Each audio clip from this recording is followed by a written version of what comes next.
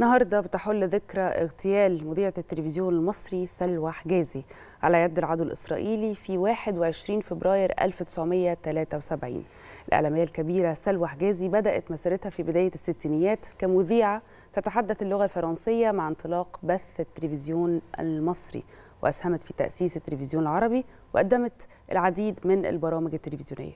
بالفعل كان ليه عدد كبير من البرامج التلفزيونية زي برنامج شريط تسجيل وبرنامج ريبورتاج الفن والحياة وبرنامج سهرة الأصدقاء والمجلة الفنية وكان أشهرهم على الإطلاق برنامج الأطفال عصافير الجنة اللي جعل لها شعبية كبيرة عند جمهورها من الأطفال لما تعرفت وقتها باسم ماما سلوى.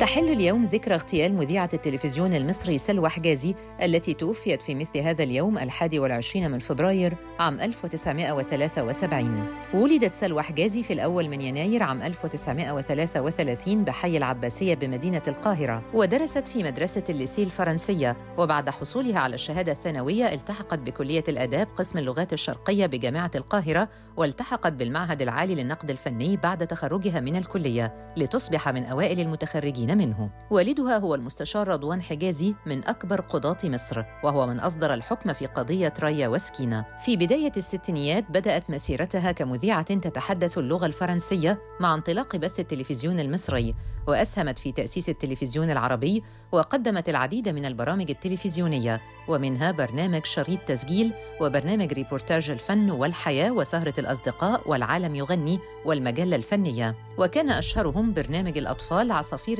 الجنة الذي جعل لها شعبية كبيرة بين جمهور الأطفال وعرفت باسم ماما سلوى. سيداتي أنسات سادتي مساء الخير. برنامج تحت الشمس الليلة دي بيدعوكم لزيارة الإذاعة. برنامج تحت الشمس هيسجل وينقل لكم كل أوجه النشاط المختلفة اللي موجود في مبنى الإذاعة. النشاط اللي عادة بيصلكوا عبر الميكروفون. النهاردة لأول مرة هيتجسد صوت وصورة من خلال التلفزيون. فإلى هناك. بجانب عملها كمذيعة كانت سلوى حجازي أديبة وشاعرة فكتبت ديوان شعر باللغة الفرنسية ترجم إلى العربية بعنوان ضوء وظلال وديوان أيام بلا نهاية. وحصلت على الميدالية الذهبية في مسابقة الشعر الفرنسي في منتصف الستينيات. تزوجت سلوى حجازي من القاضي محمود شريف بطل النادي الأهلي وبطل منتخب مصر في الجمباز وأنجبت منه أربعة أبناء. تم اغتيال سلوى حجازي في الحادي والعشرين من فبراير عام 1973 حينما كانت في طريق عودتها من ليبيا إلى القاهرة وكانت على متن الطائرة التي تعرضت لعاصفة رملية بعد دخولها الأجواء المصرية وهذه العاصفة أجبرت الطاقم على الاعتماد كلياً على الطيار الآلي. ودخلت عن طريق الخطأ في المجال الجوي لشبه جزيرة سيناء الواقعة تحت الاحتلال الإسرائيلي في ذلك الوقت فقامت طائرتان إسرائيليتان بإسقاط الطائرة في صحراء سيناء. ونتج عن الحادث وفاة 108 كانوا على متنها من بينهم المذيعة سلوى حجازي.